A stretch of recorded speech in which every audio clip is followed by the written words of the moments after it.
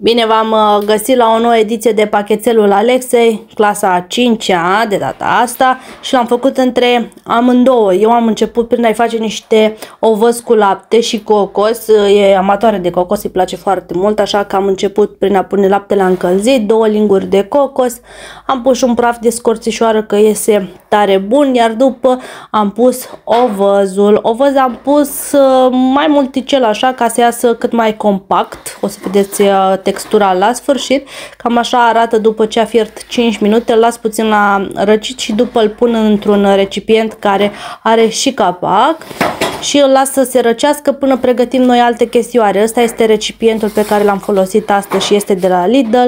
Într-un compartiment am pus jambon, în alt compartiment și-a pus ea rodi, după cum vedeți.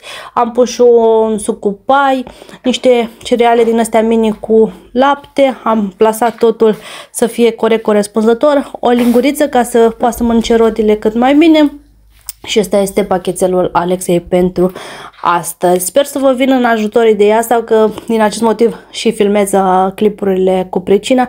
Poate, poate vă vin în ajutor. Ce să mai puneți copiii lașilor la pachetel? A, și era să uit sticla de apă nelipsită. Cam atât pentru azi.